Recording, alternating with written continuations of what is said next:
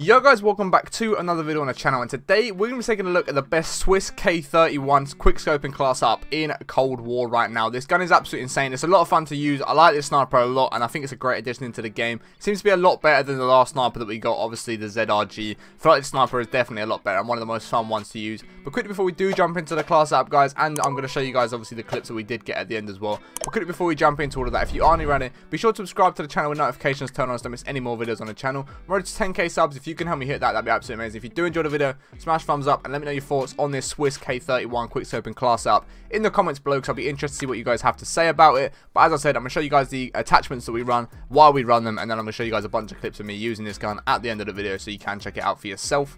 So guys, the first attachment we're actually going to go for is just the standard stabilizer 0.308 on the muzzle. And this is just to increase the idle sway control, basically meaning when you are ADS, it's just going to be a lot more central, it's not going to sway around as much. And that's pretty much the only reason we go for that. And once you start getting to the GRU suppressor, the task force, the infantry, once you get into all of them, the ADS time drops off dramatically. And obviously the last thing we want to do when we're trying to make a quick scoping class up for this Swiss K31, the last thing you want to do is take away from the ADS time. So we're going to go for the stabilizer 0.308 on this one. Next up guys, on the barrel, we're going to go for the 24.9 inch Tiger Team. It's going to increase the damage, meaning you are going to be able to do more damage. Obviously, when you hit them chest shots, it's also going to be a one-shot kill. Headshots always a one-shot kill, and it's two shots to the body. It's going to increase the fire rate. Another great thing to have, meaning obviously you can shoot bullets a lot faster, so you can pick off kills a lot quicker, and every just put nicer clips together really if you can shoot quicker. And it's also going to increase the bullet velocity, meaning the bullets aren't going to drop off as much. So if you are trying to shoot further away and you are trying to get a bit more of a long shot, the bullets aren't going to drop off at all, and you're going to be deadly accurate with it.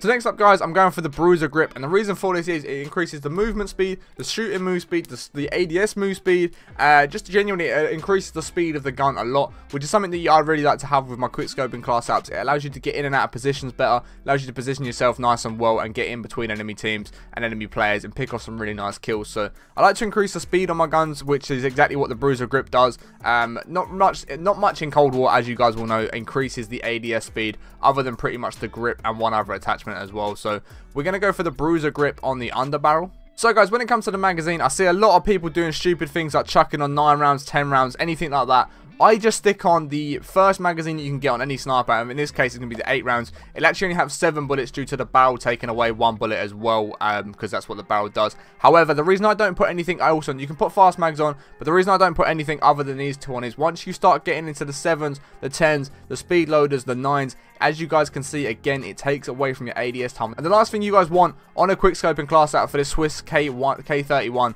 is anything taken away from the ADS time. It's a quick scoping class. You want the best ADS time that you can possibly have, and the 8 round mags are going to allow you to have that.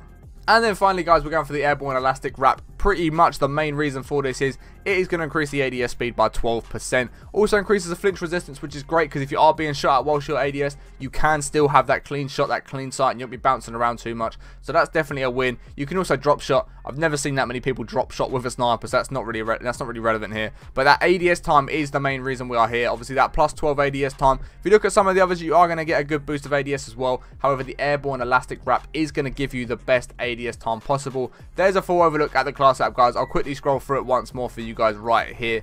As you guys can see on screen, all the attachments are there. But but I'm going to leave it there, guys. I'm going to show you guys the clips now that I did manage to get with this class. I had a lot of fun running about with this sniper in Nuketown and in all the other maps as well. I had a lot of fun. Nuketown especially because it's so close quarters, but this gun just absolutely performs on Nuketown. It's great. It's a great quick scoping class. I really did have a lot of fun using it, and you guys can check out the clips I'm about to show you. If you have enjoyed this video, please do smash thumbs up, as it really does help me out. Let me know what you want to see in the comments below. If there's any more sniper class apps or any other class apps for Cold War you do want to see, please do let me know in the comments below, and I will do my very best to get onto them as soon as possible for you guys. I appreciate you watching it all to the end. If you you aren't already subscribed to the channel with notifications turned on, make sure you do do that as it really does help me out. We're on the 10k subs. So if you can help us hit that, that'd be amazing. I'm going to show you guys the clips now as I keep saying. But I appreciate you watching all the 10. We'll catch you in the next one in a bit.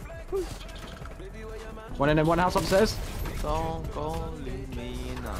Don't go Ah. leave. Uh, My day been good, fair Jack. We, I got on quite late. It's only bad thing.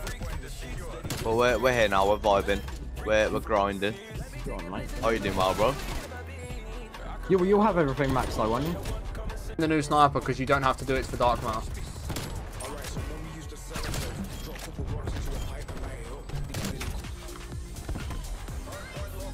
Straight in the mixer, bro. Please. Well, Vito was. Oh, he's just running from my man. It's like he's not going to kill me. Bro. mate. That little fucker who killed me, I'd have been fuming. You, you'll have everything maxed though, won't you? Huh? You'll have your PVSH max by 8 though. Right? No, I know, but I want to make a video on it, bro. Oh shit. I wanted to make a video on the fucking sniper as well. But I definitely am not going to, you know.